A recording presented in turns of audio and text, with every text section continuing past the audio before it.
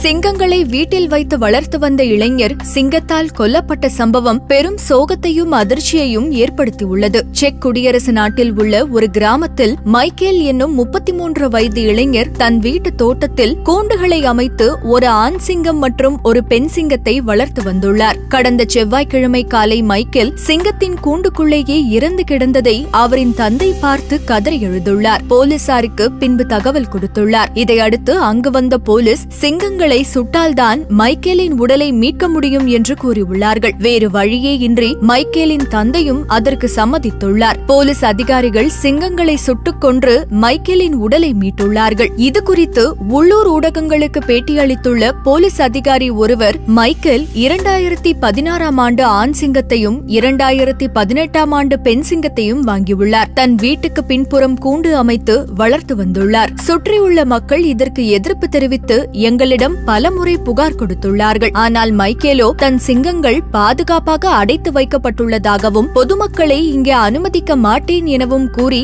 வழக்கை வாபஸ் வாங்க வைத்தார். உரிய ஆவணங்கள் இன்றி சட்டவிரோதமாக சிங்கங்களை வளர்த்து வந்ததாக இரண்டு முறை அவர் அபராதமும் செலுத்தியிருக்கிறார். ஒருமுறை சிங்கங்களை வாக்கிங் கூட்டி சென்றபோது சைக்கிளில் வந்த ஒருவர் மோதி சிங்கம் அந்த நபரை கடித்துவிட்டது பின்னர் அந்த வழக்கு விபத்து என்று கூறி கைவிடப்பட்டது. மைக்கேல் தான் சிங்கங்களுடன் இருக்கும் புகைப்படங்களை பேஸ்புக்கில் பதிவிட்டு பிரபலமாகி வந்தார். இனப்பெருக்கம் செய்யும் நோக்கத்தில் சிங்கங்களை வளர்த்து வருவதாகவும் அவர் கூறியிருந்தார். இந்த நிலையில்தான் உணவு வைப்பதற்காக கூண்டுக்குள் வந்த மைக்கேலை ஆண் சிங்கம் கடித்து குதறி கொன்று போட்டுள்ளது. எங்களுக்கு வேறு வழி இல்லாததால் சிங்கங்களை சுட்டுக் கொன்று அவரின் உடலை மீட்டோம் என்று அந்த போலீஸ் அதிகாரி குறிப்பிட்டுள்ளார். மைக்கேல் இறப்பு செய்தி கேட்டு அப்பகுதி மக்கள் சோகத்தில் இருந்தாலும் சிங்கங்களுக்காக ஊரையே எதிர்த்தான். ஆனால் அதுவே அவனது உயிருக்கு உலை வைத்துவிட்டது. சிங்கங்களை வீட்டில் வைத்து வளர்த்தது அவனின் தவறு என்று கூறி வருகிறார்கள். மேலும் இதுபோன்ற செய்திகளை தெரிந்து கொள்ள வீடியோக்கு கீழே உள்ள சப்ஸ்கிரைப் பட்டனை கிளிக் செய்யுங்கள். மேலும் லைக் ஷேர் கமெண்ட் செய்யுங்கள்.